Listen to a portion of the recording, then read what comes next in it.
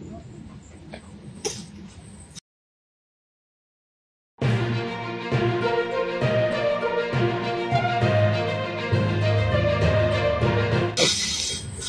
Tribuners, selamat pagi. Saya Demza Valevi, wartawan Tribun Jabar ID melaporkan dari Ciganea Purwakarta, Jawa Barat bahwa pada hari ini 1 6 Mei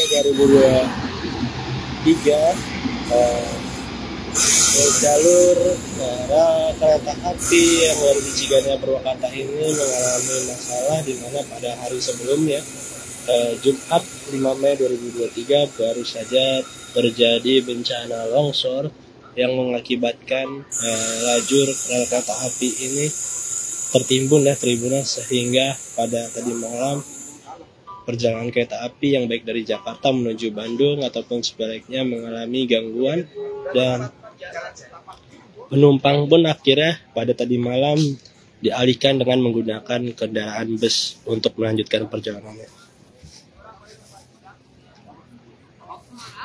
live Live Bang Reja.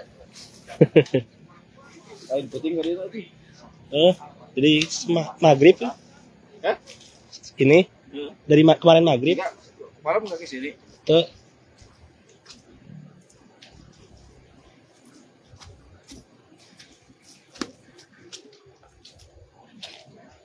seperti ini Tribuners longsor di mana tebing setinggi 12 meter mengalami longsor dan mengakibatkan lajur eh, kereta api tertimbun dan mengalami gangguan sejak tadi malam Eh, berbagai eh, perjalanan kereta api pun baik ke Argo Parahyangan, Serayu hingga Cikuray pun mengalami gangguan.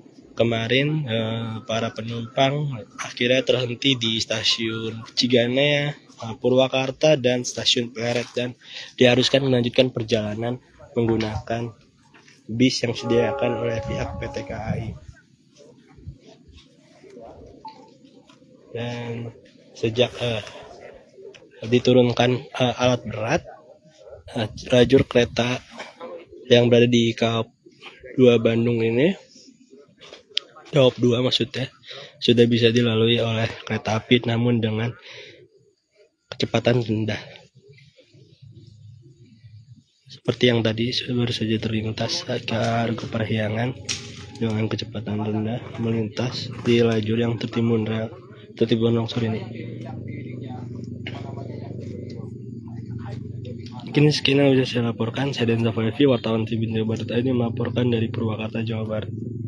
Terima kasih sudah nonton. Jangan lupa like, subscribe, dan share ya.